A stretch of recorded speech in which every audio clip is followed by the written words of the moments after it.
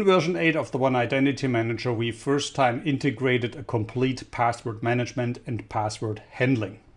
This is the answer of all the questions to generate or handle passwords. Therefore, we integrated something that is called the password policy, where you can now define all the rules necessary to create passwords, like the complexity, etc. The system itself, it's shipped with a standard password policy, takes place if there is nothing other else defined. For all the people working with demo environments, it is as well necessary to ensure that all accounts and identities are just configured with a complex password because if this did not happen, you will run into problems later on once the installation gets migrated. System users and other One Identity accounts without any passwords are now not possible anymore. If you need something like that for a specific scenario in a demo environment, for example, you have to change the password policies first. On the website, the feature is supported with a specific password reset web. We will show you that in some seconds. Additionally to that, Starling two-factor authentication is supported with this specific web. The system delivers passcodes for new hires and supports as well password expiration.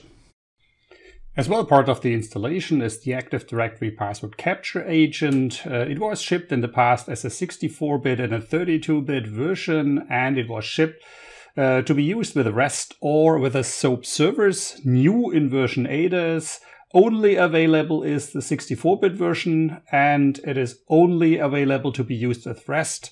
The support for SOAP and the support for the 32-bit version, it's not on the DVD anymore. Some words about password policy. We will show you the password policy in seconds just in a demo.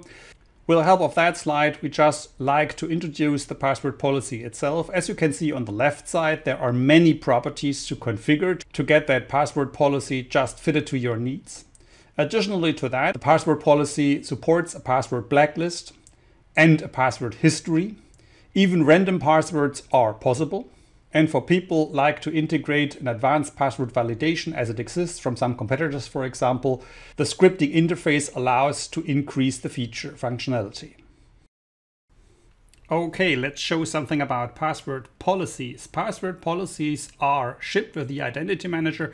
There are standard policies as mentioned, and you might have the idea to change some of these configuration parameters of these password policies. I like to show you that. I will reconfigure my demo environment in a way of that password cannot expire, especially because in a training environment, it is uh, really problematic if uh, you just provision a new version and then all passwords are expired because uh, you created the environment maybe uh, 10 months ago. So let's start with that. Uh, you start your designer. You can do that from Launchpad by just clicking here, for example, on change system settings, and then designer comes up. I've already started the designer so that we can directly start with. If I want to change password policies, I have to go to the base data section. But before I do that, I like to talk about permissions and system users. As you know, we have for our developers in our identity management world, some system users in our training environment. This is the training user, for example, or the all, uh, all the known user Herwig. And what I can do here, I can flag these users in a way of that passwords never expires. To do so, I just click on Herwig and as you can see easily there is password never expired. And by checking that, my first configuration is done. I do the same, by the way, for the training user. Here we are. And this is what I typically do for these system users. Yes, of course, in a productive environment, I will never do that, but in my demo environment, this is pretty good.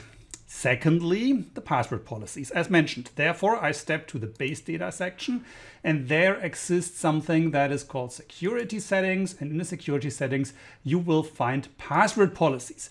Yes, of course, you can find password policies, for example, as well in the manager. Yet now I'm in the manager, you can see that employees, there are passwords on person, central account, for example, central password, and you can find password policies here. But if you want to see all of them, then it's good to step into designer and in designer here in that section are all password policies defined for whatever else part of the identity manager. And now let's start with the settings. Therefore, I check my default password policy. This is the one. And I cannot change or reconfigure the, uh, the properties or the main properties of this password policy. But what I can do, I can just configure the policy itself. So what's to do? Min length, 8 characters, that's okay. Max length, 16 characters, I can live with that. Um, maximum failed logins. This is something that could sometimes be pr problematic. So I just uh, level that down to zero, which means it is not configured. Valid password maximum in days, as a valid password period in days.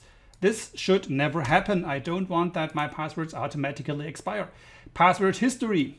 I don't want that the system it's just uh, remembering passwords because again in a training environment I often want to set the same password or I want to reset a password.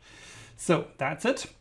Next step, I can look into character classes. As you can see, minimum number of letters, perfect one, yeah, lowercase one, number of uppercase characters, digits, that's all okay because my standard password in this environment will absolutely follow this and we try to have the same password for nearly every account, but only in our demo environment. So that's good. I have no scripts here defined. I can test that. For example, I can now enter my password. This is my password. As you can see, it is valid. So it fits now to the complete configuration I was doing there. With that, I'm good. Next thing here is to look at the other password policies. And as you can see as well for the system, uh, I do have a password policy I can configure. This I will do as well uh, because uh, it is the same thing in the whole system. I want to ensure that my standard password uh, can be used everywhere. So I change these policies as well. So cloud passwords, we don't need them at present. Azure passwords, Active Directory policy should follow the same rules. Again, in a productive environment, that makes no sense. But here in the designer, this is really good. I commit my changes to the database so that they become true. And now I'm safe. What we have seen we have seen how to configure password policies in the designer. We have seen on the system user how to enable the system user in a way that passwords can never expire.